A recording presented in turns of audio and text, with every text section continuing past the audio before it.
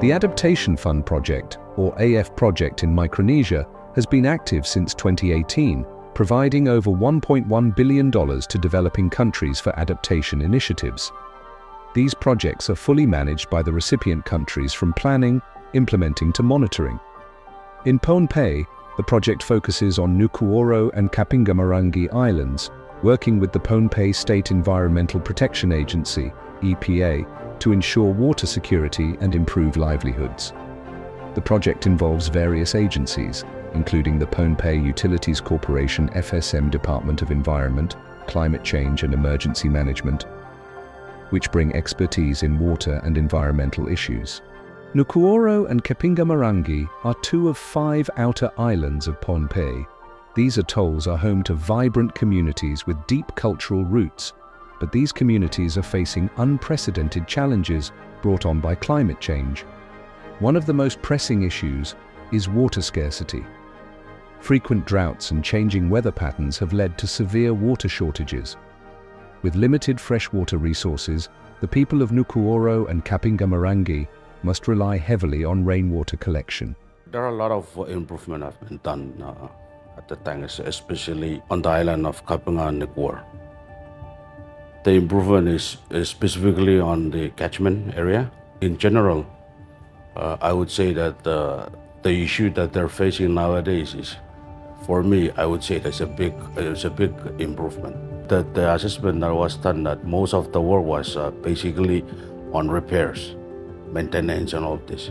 With regards to the how often uh, the trips are to the two communities, it really depends on the uh, scheduling of the festival by FSMTCNI, and sometimes we can be uh, more like address the issues or trip to the outer islands within two months, and sometimes it delay up to four or five months.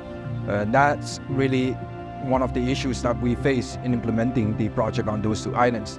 Traveling or the transportation, that is the issue that we face. The project has resorted to chartering vessels to enable transport projects materials to the islands.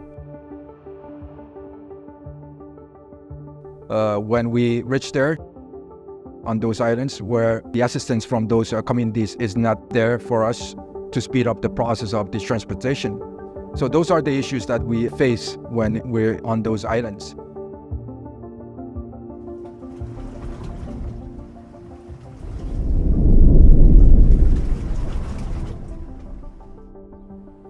There is a water uh, management plan for the two communities that we are in development and in, it's about to be finalized. And once it's been finalized, we will have to present to those two communities where it will provide them the guidelines or the guiding documents and procedures that those two communities will follow in ensuring that those uh, projects or those infrastructures are being maintained and being provided uh, by the means of those communities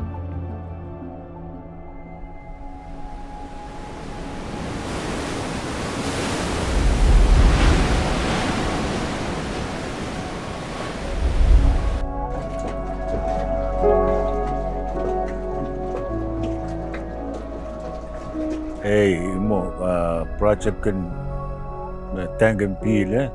Uh, Wiyas awas laut om men kronis.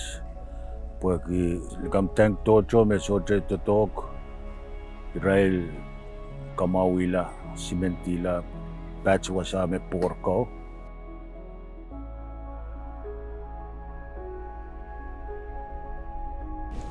Ah, lekam se aramasin sa apat, te chon. Tron nukur reutan peraniki reutan mau ke bua tekin gilang mas sai es chonok tir ten hari kamawen project ko me iraikin peraniki Some of us they have a nice uh, catchment, but a lot of us they don't have. But it's help helpful for that uh, team to come and help us fix the one that not good. I always like to point out the challenges of the projects, but it all it all comes down to like how the project will sustain because that's what everybody's like looking at it.